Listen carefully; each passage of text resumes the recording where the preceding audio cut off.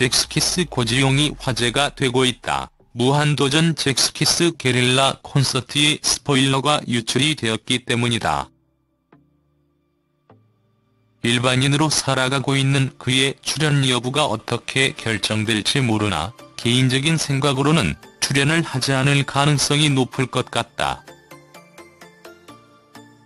다른 멤버들을 통하여 고지용의 근황을 들을 수 있었다. 장수원은 현재 고지용이 에너지 사업을 하고 있다고 밝혔는데 자신의 방송 출연이 큰 득이 될 것이 없다고 생각한다고 한다. 현재 자신의 삶을 만족하며 평범히 살아가고 싶어하는 것 같다.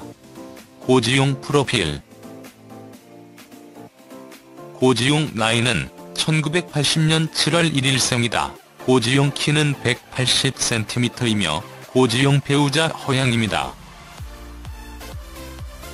고지용 학력은 서울예술대학교이며 1997년 잭스키스 1집 앨범 학원 별곡으로 데뷔를 했다.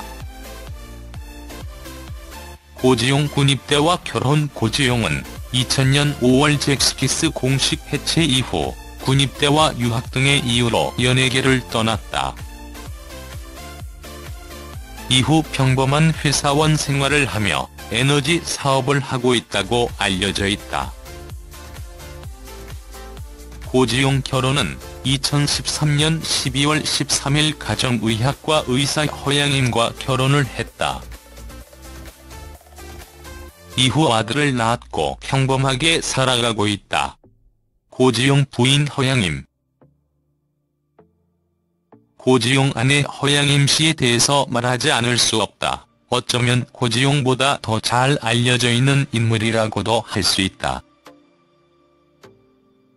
고지용은 잭스키스 해체 후 활동을 거의 하지 않았지만 허양임 씨는 여러 프로그램에 간간히 출연을 하며 얼굴을 날렸기 때문이다.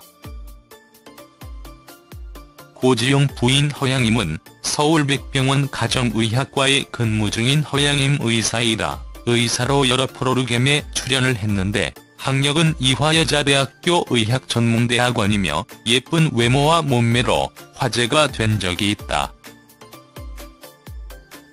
비타민, 위기탈출 넘버원, MBC 파워매거진, 생로병사의 비밀, 엄지의 제왕 등에 출연을 하여 단한 외모와 함께 다양한 정보를 제공해 주었다. 예쁜 외모 때문에 의학계의 김태희라고 불리기도 했다. 직업이 의사의 얼굴까지 예쁘니 이렇게 불리는 것도 이해가 되는 것 같다. 예쁜 외모 덕분에 다양한 프로그램에 출연이 쇄도를 한 것이 아닌가 생각한다. 고지용은 해체 이후 본인의 의지로 방송 활동을 거의 하지 않았다. 최근 10년 만에 파파라치 카메라에 단독 포착이 된 것 이외에 거의 노출이 되지 않았다. 훤칠한 키와 외모의 잭스키스로 활동할 당시의 외모는 변함이 없었다. 과연 무한도전을 통하여 고지용을 만날 수 있을지 지켜봐야 할 것 같다. 이전 글 고지용 출연 강요하지 말아야. 새로 보기